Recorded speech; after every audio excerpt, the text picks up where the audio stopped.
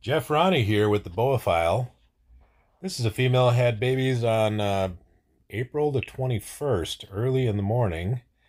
This is when she was gravid, when I ran around a few weeks ago and took video of a whole bunch of gravid females. This is a jungle ghost. She was bred by Prodigy Motley, and she is screaming beautiful, even though she's sticking out all over the place. I was talking and she got a little excited, hyperventilated, ventilated a little. Took this picture about a week ago. She looked like death warmed over. She's so drawn out. And then uh, Friday morning, I found her making a nest. A couple of pictures here, and then I took a picture of her through the glass. She was in lock and load mode. She was all kinked up, all tense, and that tail was in that position I've seen many, many times over the years, getting ready to have these puppies. I was pretty excited in the middle of my workout. and I came back and checked on her after doing a couple of sets, and there she is. She popped out the first one. That was my cue to get the camera going. By the time I got the camera going, things were in full motion. Uh, she had four or five of them out, and I got my camera set up. Took me a little while to get that done. And I'm going to give you, here in this video, doing a little voiceover. Oh, here comes one now. Little puppy coming out, coming out to meet the world. I'm going to give you a color commentary as these babies are being born, and then uh, in some of the moments when there isn't so much happening, I'm going to just talk about breeding boas. How's that sound? So if you've started now, you have to watch the whole thing because you might miss some really valuable little nugget that I might throw out there um, as things pop into my head as I'm going through this. It's really fun to watch this. They ring and ring and ring those babies out. And most of the time, females squirt out babies just one at a time, which is how she did it, even though she was just uh, enormous. And a little bit, you're going to see me pan over. You could see the front of the lump. She's pushing that whole lump down all at the same time. Look at those little guys popping their head up for their first breath of air. The male that bred her is a prodigy motley, so these babies are all double het prodigy and anerythristic. First time I've made these, which seems crazy. it's taken me this long. And uh, so we've got a lot of motleys, hypo motleys, and jungle in the mix, and uh, just regular hypos and regular jungles trying to get the camera situated here. Sorry about that. Uh, didn't have a good way to hold the camera. And a lot of times they wave their hair, wave their hair, they wave their tail around a lot and sometimes dig that tail kind of through the babies. I think kind of to get the babies moving, get them to pop out of the membrane. You know, uh, maybe me overthinking it, but uh, it kind of seems like that's what they're doing. And uh, it's just really I never get tired of watching this. I could watch this every single day.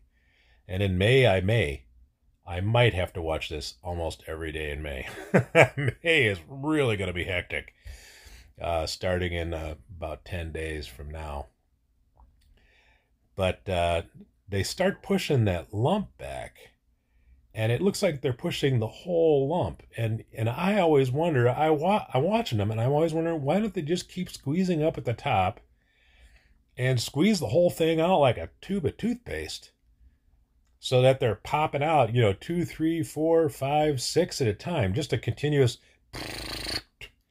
But they never seem to do it that way. Doesn't matter how often I think that they should. They just they have their own way of doing it. So what she's doing is she's very tense, and she squeezes one right down to the cloaca, and then she just squeezes one out. There's one coming now squeezes them out one at a time. First comes a little ooze, a little uh, a little goo, as I called it, many years ago. And then the baby comes. Uh, there's a lot of goo inside the membrane, which uh, that's really not a very scientific term, I guess. but that's what I call it and it really lubes the um, the path for those babies to come out. She's waving that tail around, getting ready to squirt out another one. There's a lot of them. It's a really good litter.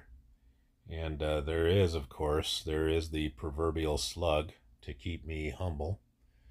And so the, so the haters have something to, to scoff at because, of course, they never have slugs. Anyways, so these little guys are coming out. Uh, they're not trying to go toward the camera. They're just trying to push their way out of the membrane. These babies are all alive. They, uh, I sent a picture out one time many, many years ago, 20 years ago when the internet was a new thing. Shortly after Al Gore invented it, of course. And I posted a picture of a bunch of baby Argentine boas. They were in the goo. Some of them were in the membrane, some of them were not. And this guy got all bent out of shape. He was going to report me to, I don't know who he's going to report me to, but, but going to report me to somebody for posting pictures of dead snakes. Of course, it was a still image, so he couldn't see they were very much alive. Here comes another one. See that? Sometimes you get right on it and you can see the baby actually coming out of the cloaca but you know, typically when they're giving birth like this, they'll have the tail kind of pushed in the goo, in the mess where the babies are. You can just see the whole mass of babies kind of being mushed or pushed along by the babies after they're being delivered by the mom. So she typically won't lift the tail high enough that you get a good shot at it. She's doing it now so we can see it. But a lot of times it's just pushing in the goo. Reminds me, uh, I did not see my first babies being born until. Look at that. I just, I just am fascinated by it. I always have been. I've seen it a lot, many, many times over the years. This is the first actual birth I saw this year. Definitely not my first litter this year. But uh, the first time I ever saw being or baby boas being born was about my eighth litter.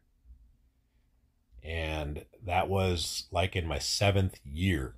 So I had one litter the first year, one litter the second year, one litter the third year. I think the fifth year I had two, and then one litter one litter, and then and then it started to take off because I had more and more boas and uh, started having more and more babies. So it got to be a little more common than, than just one litter a year. But uh, when I saw that first litter being born, I called my friend. Uh, his name is Vince Jimerson, and uh, I was just so excited that that I got to see babies being born. And he laughed at me because he'd had babies, I believe, twice then, and he saw all of the babies being born both times. So he had one up on me. But uh, so, anyways, these babies are still coming.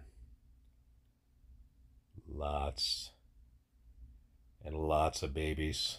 First, uh, first litter I had was uh, was in a gigantic cage. It was uh, in a section of like four foot by four foot and two feet high. And uh, I had checked the female, and I I was looking at her thinking that she probably wasn't pregnant. I, I didn't know. Here comes the baby. Here it comes. And you know what's weird is a lot of times when they come out, they seem to be belly up.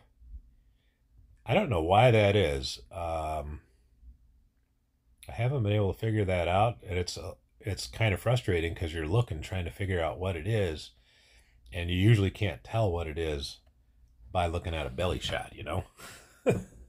bellies are pretty common, or pretty even typically. They're not. Uh, they don't have the pattern on them. I mean, you can't tell what a jungle's belly looks like, or even a motley's belly for that matter. I guess a motley belly can be a little bit distinct, but uh, by looking at the bellies, you can't necessarily tell what they are. Here comes another one. Quite a few come out so far, probably a dozen. They're uh, pretty calm babies. They're just sitting around. Most of them aren't really doing much. Once they're certain that they pop their head out of the membrane, you know, I'm sure that they have an instinctive um, desire to pop their head out of the membrane and, and get that first breath. Once they've done that, usually they kind of hang out. They just sit where their moms have them. And then it's just uh, waiting for the rest of the family to show up. Of course, they haven't met any of the rest of the family until they come out, so to speak. But uh, sometimes you'll you'll get a female that does pop out two or three or four at a time. That's typically going to be a really big female. It's not your um, not your smaller female that typically you're going to see that kind of thing from. So back to the uh, the little tale about my first litter. It was a Colombian boa, and uh, her name, of course, was Big Mama. Talked about this before. And uh, she was in a four foot by four foot section by herself, and she was leaning all all the way up against a side wall and kind of in a tight S shape all along the back wall, just like this one was. All you couldn't see much of it; you just saw the tail in that pic. And she was all stretched out, and all kinked up and I didn't know when babies might come. Um, I was guessing that she was pregnant because she looked really big for a while. And then about that time, she wasn't looking very big anymore. So I wasn't really thinking I was going to be getting babies. And uh, it was like 8.30 in the evening, and I went back and checked it. It was 9 or 9.15, something like that. And uh, went back in, and she was all done. There was 16 slugs all in a row. 16 slugs. I don't remember which order they were in. It was either slugs and babies or it was all babies and then slugs.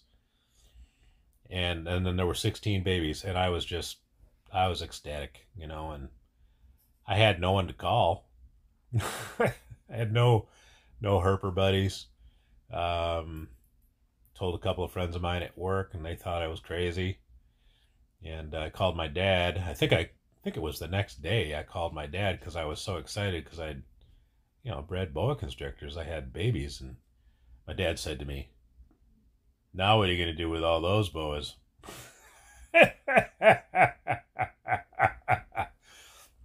Same thing people ask me now sometimes when I have babies.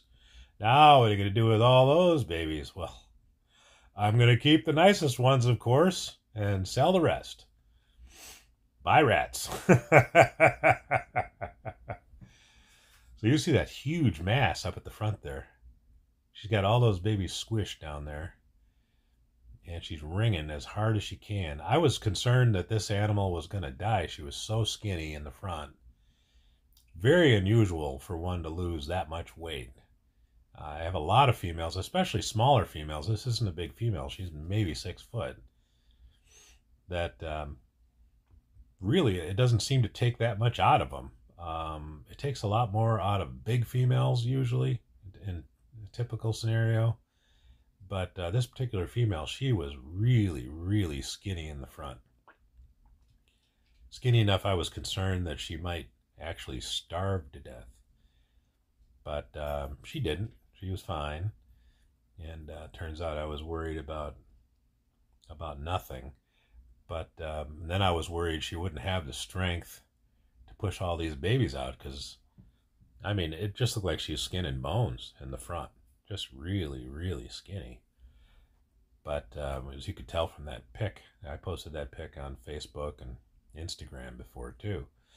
but she proved I was concerned about, or overly concerned about nothing, and uh, had all these babies without any issues whatsoever. No issues.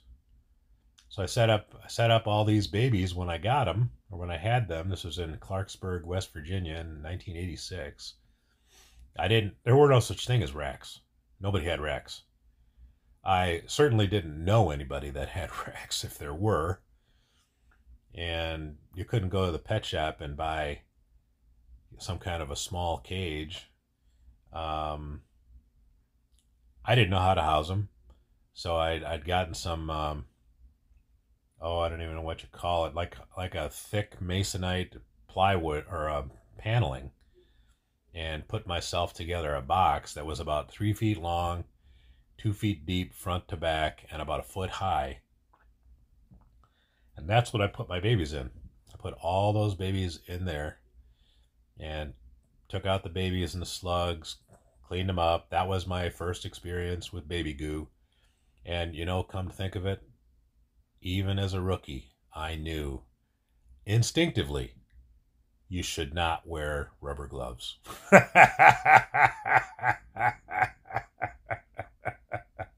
so I didn't wear rubber gloves even back then. You know what? I have never put on a rubber glove ever to pick up a baby boa in the goo. Not one time. How's that? That's impressive. So I put these babies in this tub. I didn't know how you're supposed to take care of them. I mean, there were no, um, none of the books told you how to do that. They gave you kind of natural history on how they thought boas lived in the wild. The book said that the gestation period was four to eight months, or some of them were 10 months. You know, they didn't know. People were just, they published the uh, best information that they could get, which was, you know, an estimation from somebody who had a zoo once or wherever they got it. You know, anecdotal information where people weren't really documenting anything. Oh, here I pan over so you can see the front of the lump. Front of, front end of that lump is there. I uh, I stood up a piece of black plastic uh, between the front of the cage and the back of the cage where she had her head kind of back in that back corner so that she wouldn't see the light from the camera. And usually that discourages them from coming over and seeing me. Then when I shot this video, I kept my mouth shut the whole time. Because if, if I start talking, they, they can feel the vibration from my speech and when they feel that vibration, it disturbs them and they turn around and look. And I don't want her turn around and looking hard at me while I'm trying to shoot this video. So here she goes. She's popping out another one in the corner. You see these contractions. They're just, everything is in super slow motion. She gathers up the skin. See that? Isn't that amazing? It comes, it comes up kind of like an accordion and then she pinches right there where she's got it gathered up to and then she rings back toward the vent. And this is a continuous operation uh, which takes place in multiple separate locations throughout the female. She's doing this pinching and contracting. See that? Here comes a baby. Look at that. Miracle of birth. Sorry, that's a jungle. I'm distracted. So I set these baby boas up in the tub and I actually cut a hole in the bottom of the tub and I took a Tupperware container and cut the, the bottom so the Tupperware container would fit in that hole. And that's where I put water. So when I wanted to change water, I had to take this Tupperware container out, you know, and there's hole was there. I had to cover the hole so babies wouldn't get out. And uh, and then I changed the water uh, periodically, and I started to raise rats because I had 16 baby mouths to feed, so I had to raise rats, right? I had already been raising some rats because I had I don't know how many I had. I had four or five boas at that time. They were all, um, the rest of them were in a four by four foot cage. And uh, the, the cage was actually it's a single cage that was divided in half. So that was that was the first divided cage that I that I had invented. it was uh, made by a four foot by eight foot sheet of plywood, and I had a divider directly in the center that I screwed in and I kept all the boas on one side, four by four foot side, and then the uh, breeder pair were on the opposite side, where the female ultimately had her babies. She was already pregnant, I was convinced, so I had moved him over to the other side. There's a scary story about how I heated this cage, which will give uh, electricians and people with common sense the willies. Uh, but it didn't seem to have given me the willies at the time. But I raised the bottom of that cage about four inches so it's about four inches from the floor to the bottom of the cage. The sides of the cage went all the way to the floor, and then the bottom was raised up. And under that cage, I took another piece of plywood, I covered it with tinfoil, and I laid a light bulb. I had wired up and with a little socket a light bulb on this piece of plywood that was covered with tinfoil so that it wouldn't slip. Because if it slipped, you know, it could go on the carpet. And I, I didn't want to start a fire, right? So I'm, I'm doing this uh, safely. so I put this on the plywood, on the tinfoil, and on the bottom of the cage. Oh, here comes another one.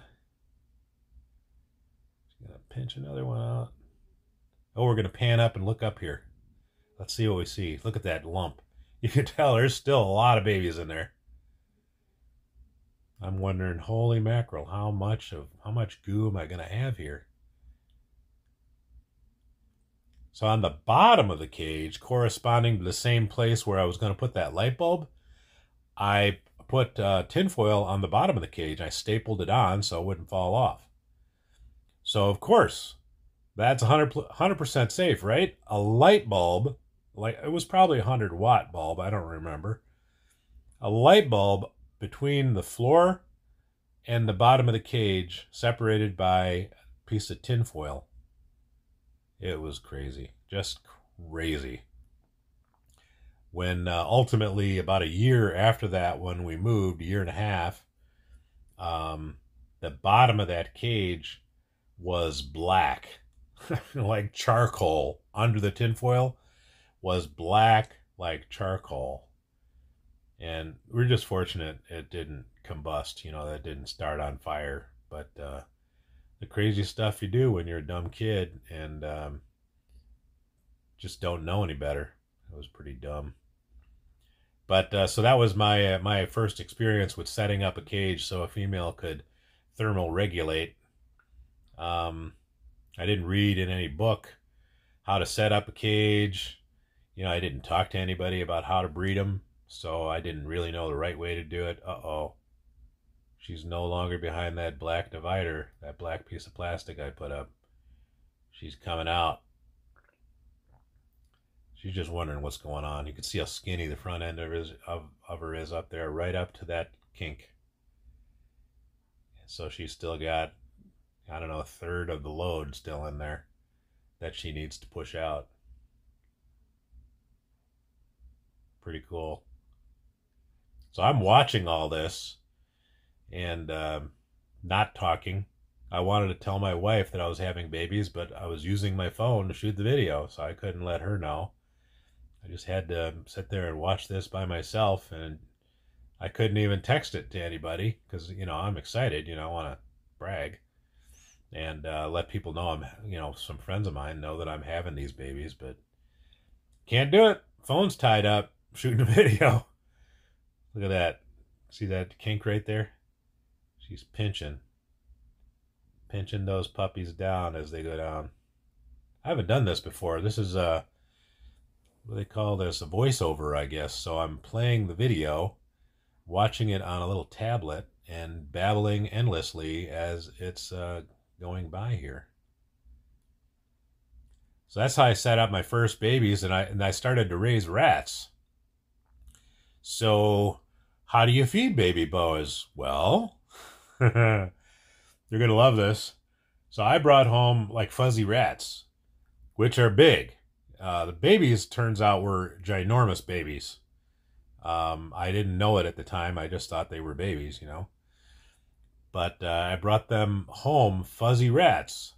So how do you feed 16 baby boas fuzzy rats? Well, I brought home about 30 fuzzy rats.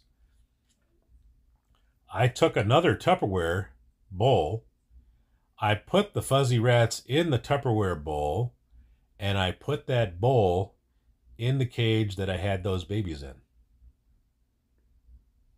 That's it.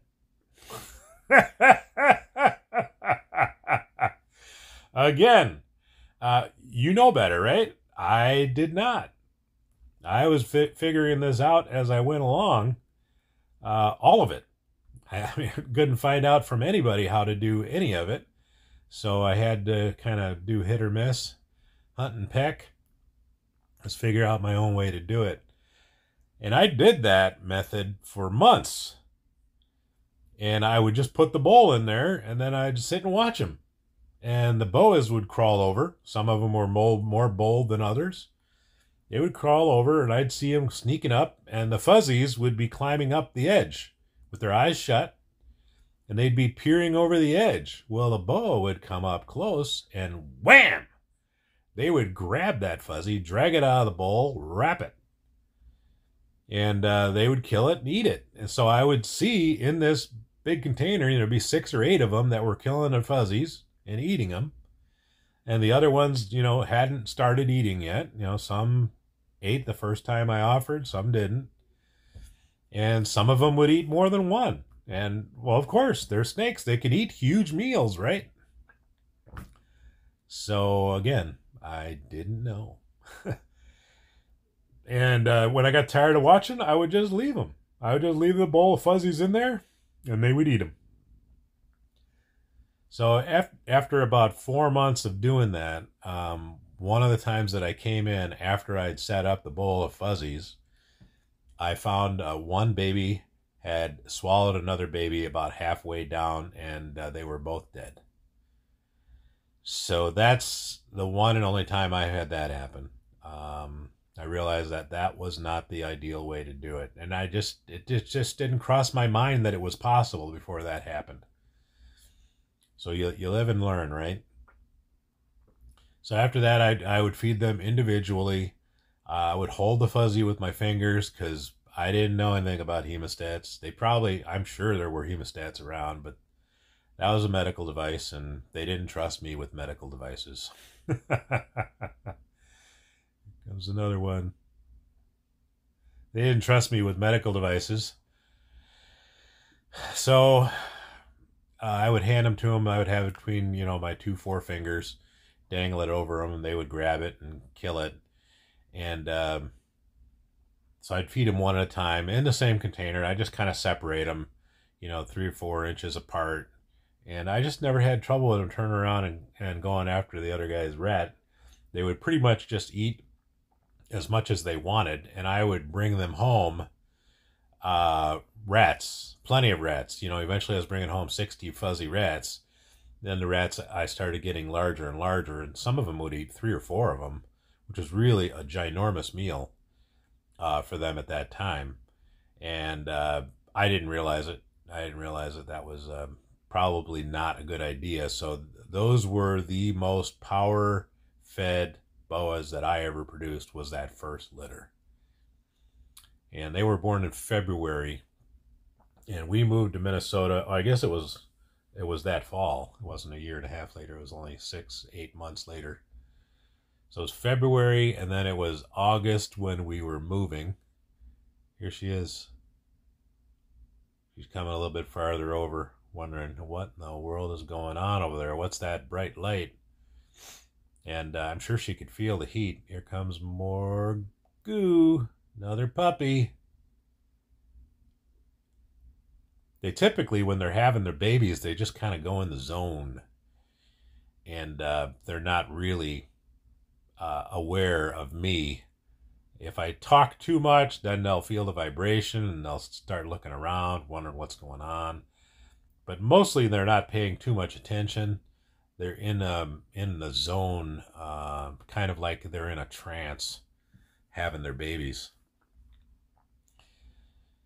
So I, I fed them and fed them and fed them. And in August, of that year, we were moving to Minnesota from West Virginia. And here I am. I've got like 22 boas with me. I've got everything that me and my wife own in a full size van, which included a couple of makeshift, much smaller cages that I'd made, uh, put everything into much smaller cages so we could move. And uh, had uh, 14 babies left and the four or five adult boas, including Big Mama and Big Daddy, of course. Uh, me, my wife, and my son, who was uh, about to enter kindergarten in um, in Minnesota. and we stopped at my uh, my grandmother's house in Chicago uh, for a visit. We were there for probably a week, and I decided I would I would call around to some pet shops see if I could sell some of those babies, because um, I could use the money, and um, I really didn't need fourteen more baby boas. I mean, at the time, uh, I was having a lot of trouble feeding that many. Um, because I didn't have that many rats and certainly didn't have the money to be buying buying lots of rats. So I took uh, 10 of them to a pet shop called Noah's Ark, which was in Elk Grove Village at the time. And they bought 10 of them for 35 bucks a piece. So it was 350 bucks. And I just thought that was unbelievable that I could get so much money for those babies that, you know, I had produced. They were born on my watch. And and uh, it was like found money to me. But before I took those babies to Noah's Ark, I was really curious what size they were. So I'm surprised I'm remembering all this stuff. Anyways, I'm doing this with no notes, just what's in my head. So I, I decided um, I'm kind of a numbers guy. I'm my brain is uh, very mathematical. I think about things a lot of times in terms of numbers. Here comes the mom. She's coming around, coming around to see what's going on. A lot of times they come around, they check out the babies, and uh, I'm the first one. I'm the first one to uh, document making the observation uh, that boas will tend to put ba- push babies around with their head in the goo. In fact, I had a picture of it in my Reptiles magazine article that was published in November of uh, was it '96 and uh, that boa's name was Lois, incidentally, which uh, the fella I got her from, his name is Rob Ayotte. He had named her Lois. She was a wonderful snake. But uh, she was pushing those babies around with her head, and I took a picture of it. I thought it was so neat, um, not knowing that, you know, people didn't know that that happened. But uh, was one of the first things that I'd kind of figured out or found out about a behavior that boas did. So before I took them to the pet shop, I decided I was going to measure them all. And I figured out that if you put a boa along a wall, usually they will they will kind of move themselves up close to the wall and straighten themselves out completely straight so you can get a good measurement on them. Um, and so that's what I did. I measured all 14 of them. I put them up against the wall I put them right next to the wall where they were touching the wall, and then to feel more secure, they would kind of nestle themselves over to the wall. And I'd wait till they straightened out and I'd measure them. Well, they were big, really big. So the biggest one, who wants to guess what the biggest one's name was? Who wants to guess? Big Baby, of course. Big Mama, Big Daddy, and Big Baby. Big Baby was 60 inches, eight months old, five foot long. That's right. That's a fact.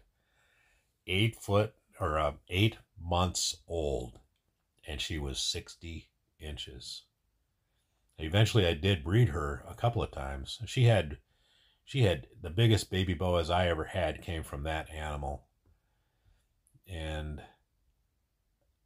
she had some slugs in the first litter, and they were literally the size of tennis balls. I mean, I've never seen slugs that big. Look, now she did do a little pushing around. This is the mom. She did do a little pushing around, but she just pushed around in the aspen. She didn't actually push around the babies. She went up once or twice and kind of got her nose in there just a little bit. But she was mainly just pushing the aspen around. And I waited for about an hour because I really wanted to get some good video of her doing that particular behavior. That's right there. That's about as close as you ever get to her doing what I wanted to get really good video of her doing, but she didn't do it. A little bit there, but um, didn't really didn't really do it like I was hoping. So I measured all of them, and they averaged these baby boas that were eight months old. They averaged 48 inches. The smallest one was 43, which is terrible. Um, all of those boas, of course, that was 37 years ago, 38 years ago. Those uh, 37 years ago. Those uh, those boas uh, no longer with us. The longest any of them lived was probably seven years. Had a couple of them that were about nine feet. No surprise. At seven years, and um, and and they just eventually died. Probably, uh, we kind of suspect that the organs can't keep up with the growth rate growth rate that the muscles and bone structure go through when you feed them when you way way way overfeed them. But uh, the greater point is i just wanted to mention how big you can get them. And uh, now the uh, the irony is that biggest one at eight months old is uh, about the size that most of my females are when they're five years old now um, so it's quite a quite a transition I've gone through over the years, uh, raising my females uh, more and more slowly. It's much better for them longevity wise. Uh, this female, this is her third litter, by the way, third year in a row, and uh, she is uh, eight years old. So I started breeding her when she was about five feet and five years old. And those the babies from my uh, first litter. The first one that I bred, Big Baby, I bred her when she was two and a half years old, and by then I had become acquainted with some other herpers out there. I found out about uh, the Northern Ohio Association of Reptile Keepers in uh, in Ohio was a large herp society, and they had a newsletter which I subscribed to. Uh, Dick Bartlett was the primary writer, which he did uh, wrote for them for many many decades for free. Um, he is the premier writer of all all things uh, reptile, as far as I'm concerned, uh, in the U.S. You know, for for nothing. I mean, he did it for free uh, for many decades, and then eventually, when Reptiles magazine came around, they they recruited him to write for them. Uh, you've all seen his photography, uh, which is excellent, and his writings. And uh, back when Noah was around, he wrote for them for free, and there were no pictures. It was just a little, kind of a small, uh, stapled together paper pamphlet, really. Well, one of the people I'd found in the directory in that uh, Noah was Brian Sharp. And Brian you know, who is a uh, some kind of federal law enforcement uh, guy and about 10 years older than me. So he was in his 30s when I'm calling him. So I was calling him, asking him about breeding boas, and we talked a lot about breeding boas. He talked to me. I was nobody. I was nobody from nowhere, you know. Some kid up in Minnesota is breeding boas and calling uh, Brian Sharp, who's got you know 20 years experience keeping reptiles and he gave me the time of day so i, I really appreciated that. But uh, he he told me that he was basically he was really impressed that i was breeding boas and that i'd had uh, you know a number of litters and that when i i told him that this baby from my first litter i'd bred her at two and a half years old he said you've got to do- document that. That's a big deal. That's uh that's pretty important. Look at that. Look at that little ocean of goo so eventually I did. We did talk about that. I'm not sure if that was in my reptiles magazine article or not, but I bred that female. I think she had 18, 18 babies and slugs or so. She was about eight feet by the time I bred her when she was um, two and a half years old. And uh, those babies were nice. Boy, were they beautiful. And uh, one of those babies